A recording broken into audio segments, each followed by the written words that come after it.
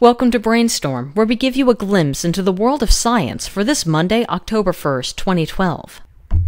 Our top story is an update from the world of evolution. If you know anything about evolution, you know it's a fairly slow process when measured from a human perspective. However, bacteria generally reproduce very quickly, which unfortunately has led to the very serious issue of antibiotic resistance.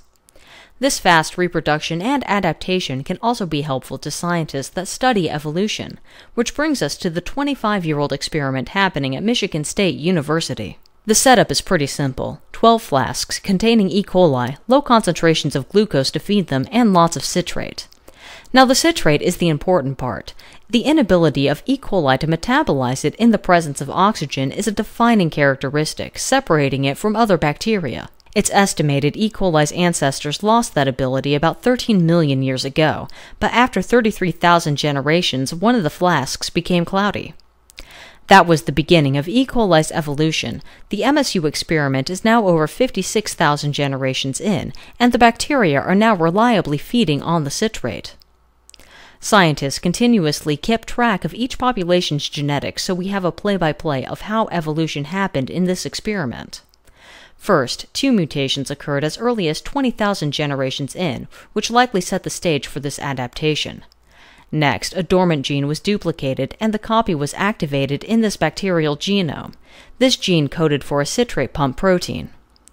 Finally, several other mutations occurred, allowing citrate to be fully metabolized, and this included further duplication of the pump protein gene. The ability to track this process so precisely gives scientists a tremendous insight into the mechanisms of evolution and demonstrates the power that small successive changes have over many generations. Next, we have a story from the world of material science as it applies to biology. Scientists at Rice University have made progress in the development of collagen synthesis. Collagen is a critical structural protein in humans and many other animals, but is somewhat understudied given its importance. Not only does it essentially hold your tissue together, it also has complex interactions with other proteins. These interactions influence how cells within a tissue behave and even differentiate. Structurally, it's also somewhat unique. It can actually be compared to the structure of DNA, with some major differences. Collagen is made from three intersecting spirals, similar to the double helix of DNA. Also, like DNA, collagen can be formed from multiple sequences, and these scientists originally designed a computer model to test various collagen sequences. The key feature is the interaction between negative and positively charged amino acids. Collagen's structure seemed most stable when these charged molecules were closest to balancing each other out. Once the software had produced some potentially stable sequences, they tested some.